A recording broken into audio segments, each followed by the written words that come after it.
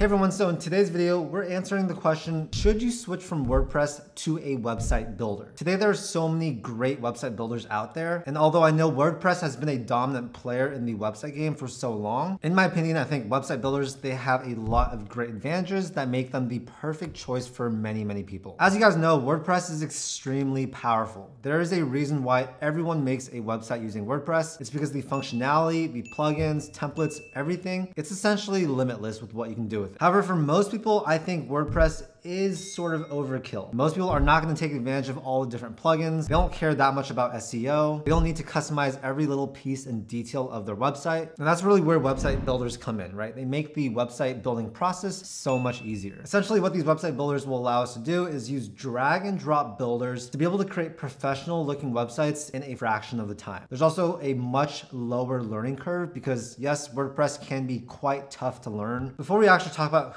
who exactly should make the switch from WordPress to a website builder, let's talk about the pros of still using WordPress. First is the flexibility, right? So if you want the flexibility to make a really custom website, WordPress is likely gonna be a good choice. WordPress also has a ton of different plugins, so if you need a ton of different functionality, then it may make sense to stick with WordPress. There's also a huge community, meaning you can look up tutorials teaching you exactly how to do a ton of different things using WordPress. And if you guys have already spent a lot of hours learning WordPress, then maybe it still makes sense for you guys to stick with it. And lastly is control, right? You get full ownership of all the content you make. And that's something that a lot of people want. Now let's talk about the benefits of using a website builder. One, it's way more simple, right? So you guys can basically sign up for any website builder and create a good looking website in probably under one hour. It's also all in one. So you don't need to get separate hosting and all that stuff. All the hosting tools, themes, they're all bundled together in one thing. Maintenance is also a lot easier. There's automatic updates. You don't need to update plugins. And those to me are the biggest pros and benefits of using a website builder. You also might be asking yourself, what is the best website builder for me? Well, there's so many options out there. You really cannot go wrong. But personally, I think the Hostinger website builder is extremely easy to use. Having one plan allows you to build up to 100 different websites. And yes, you can choose to use their website builder, or you can choose to go the more traditional route and just choose to build your website using WordPress with your Hostinger hosting plan. Another one of our favorites is gonna be Squarespace. This is a great website builder that is more pricey, but it's all in one. They have really great professional looking templates. And if your goal is to just build one website really easily, then this could be a great choice. Either way, we'll have both of these links down below. We'll have exclusive discounts to them. And for example, if you guys use the Hostinger link, make sure to use code MyFirstWebsite at checkout because that's gonna give you an additional discount that makes this the cheapest, most affordable plan that probably exists. Now, if you already have a WordPress website and you're thinking about making the switch switch, here are some things that you do need to consider. First is the migration process, right? So if you want to move from WordPress to a website builder,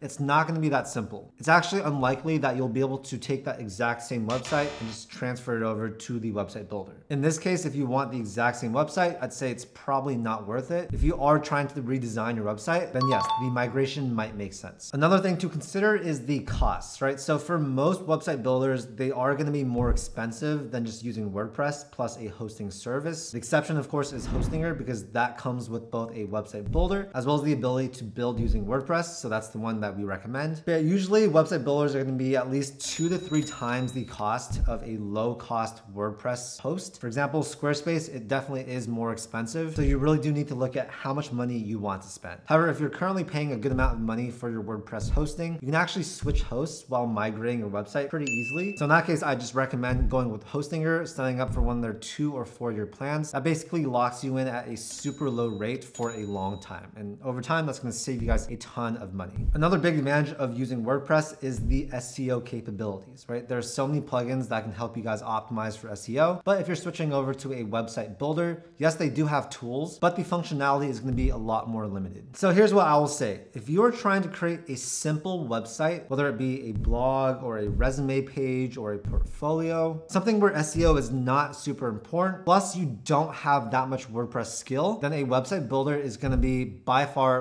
way, way, way easier. If you don't have time to actually maintain and update the plugins for your WordPress website, you just want something that's a lot easier going forward, then that's when a website builder can also make sense. Personally, I think that's probably 90% of you guys watching this video do not need to use WordPress. I think it's too complicated. I think it's too advanced. You will likely not take advantage of all the customizability and the type of website you're trying to make. It's probably probably not going to be worth it to go with WordPress. You'll likely save a lot of time by just using a website builder. And while a lot of website builders are more expensive, just use Hostinger's website builder because it's extremely cheap and it's included in their web hosting. But yeah, essentially, I want you guys to weigh the pros and cons of each. Everyone's situation is going to be unique. So what makes sense for, let's say, person A might not make sense for person B. But like I said earlier, if I were to guess for a lot of you guys watching this video, if you already have a WordPress website, then switching over to a website builder is going to save you guys a lot of headache. Again, all the links to the resources we talked about in this video are to be down below. My first website also has a free website setup service. So if you guys do want to learn more about that, you guys can check out our website down below. Anyways, I hope this video answered your questions. If you guys have any further questions, make sure to ask them down below. We'll try and get to answering them. And yeah, hopefully you guys found this video helpful. Make sure to give this video a like if you guys enjoyed it. And make sure to subscribe if you want more free resources helping you build and grow your website. Thank you guys so much for your time and I'll see you in the next video.